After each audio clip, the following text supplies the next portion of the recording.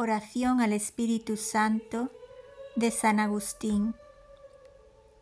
Ven a mí, Espíritu Santo, Espíritu de sabiduría, dame mirada y oído interior, para que no me apegue a las cosas materiales, sino que busque siempre las realidades del Espíritu.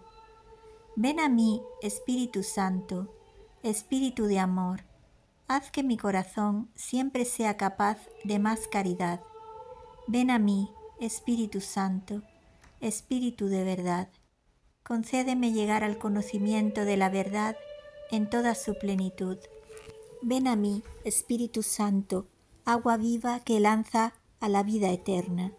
Concédeme la gracia de llegar a contemplar el rostro del Padre, en la vida y en la alegría sin fin. Amén.